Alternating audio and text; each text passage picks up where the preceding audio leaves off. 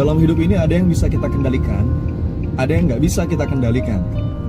Orang-orang yang khawatir dan sedih berlebihan itu biasanya fokus pada hal-hal yang nggak bisa dikendalikan. Untuk hal-hal yang di luar kendali kita, kita ngapain? Ya kita terima dan kita titip, kita serahkan kepada Allah. Jadikanlah doa sebagai pakaian kita dalam setiap tarikan nafas. Fokuskan aja pada hal-hal yang ada dalam kendali kita. Apa aja itu? Yang pertama perasaan kita. Pastikan jaga emosi positif dalam diri. Gimana caranya? Ya, caranya ala bizikrillah tatmainnul qulub. Nyambungin hati ke Allah itu bikin tenang, bikin tentram.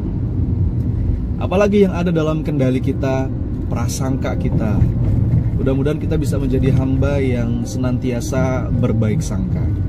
Tetap optimis, yakin Allah itu maha adil, nggak mungkin zolim. Allah itu maha benar, nggak mungkin keliru. Kemudian yang ada dalam kendali kita juga di antaranya adalah kata-kata kita. Mudah-mudahan kita bisa terus berucap, berkata yang baik-baik dan yang positif. Semoga jadi spirit yang menyemangati kita pagi hari ini. Terima kasih, saya Sony Abikrim.